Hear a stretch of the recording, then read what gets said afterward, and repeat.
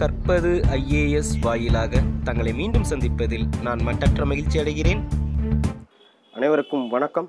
So இப்போ பார்த்தீங்கன்னா நம்ம டிஎன்பிஎஸ்சி எல்லா தேர்வுக்குமே எஸ்ஐ தேர்வாக இருக்கட்டும் இல்லைனா வந்து group one group two group two A group four group eight எல்லா தேர்வுக்குமே வந்து பார்த்தீங்கன்னா எக்கனாமிக்ஸ் கொஞ்சம் கஷ்டமாக தான் இருக்குது சார் எனக்கு எக்கனாமிக்ஸ் சொல்லுங்கள் எக்கனாமிக்ஸ் எனக்கு வேணும். இந்த மாதிரிலாம் நிறைய பேர் சொல்கிறீங்க ஈவன் ஜெயிலர் தேர்வு கூட வந்து பார்த்தீங்கன்னா சில போர்ஷன் வந்து எக்கனாமிக்ஸ் கேட்குறாங்க.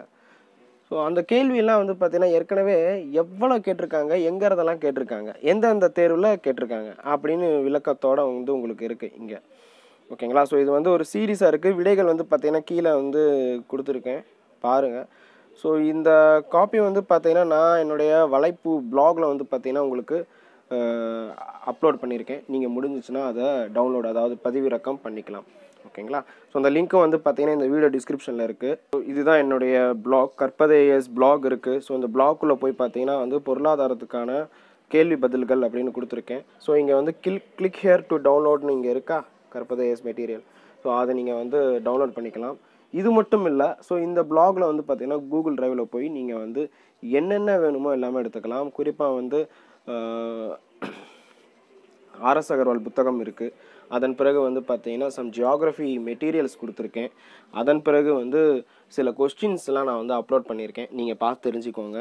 ஸோ நிறைய மெட்டீரியல்ஸ் இருக்குது உங்களுக்கு எது எது வந்து தேவைப்படுதோ அதெல்லாம் வந்து அப்லோட் பண் பண்ணியிருக்கேன். அதெல்லாம் வந்து தவறாமல் டவுன்லோட் பண்ணிக்கோங்க. எல்லாமே வந்து ஃப்ரீயாக தான் இருக்குது ஆனால் ஒரே ஒரு ஃபீஸ் மட்டும் நீங்கள் கட்டணும். அது என்ன அப்படின்னா வந்து ஒரு மரம் நடுதல். குருதி கொடை அதாவது பிளட் டொனேட் பண்ணணும் உடல் உறுப்பு தானம் பண்ணணும். இல்லைனா இப்போ வந்து பார்த்தீங்கன்னா சட்டம் அப்படின்னு ஒன்று இருக்குது அதை தான் வந்து நம்ம ஃபாலோ பண்ணி ஆகணும். சாலை விதிகளை கண்டிப்பாக மதிக்கணும். அதே சமயத்தில் வந்து பார்த்தீங்கன்னா சீட் பெல்ட் ஹெல்மெட் போட்டுக்கிட்டு எப்போயுமே வெளியே போகணும். இன்னும் ஆடடாக பொது இடத்துல சிகரெட் ஸ்மோக் பண்ணாதீங்க. நம்ம சுற்றி குழந்தைகள் இருக்கலாம் வயதானவர்கள் இருக்கலாம். அது வந்து அந்த ஸ்மோக்கிங் வந்து பார்த்திங்கன்னா அவங்கள வந்து டிஸ்டர்ப் பண்ணும்.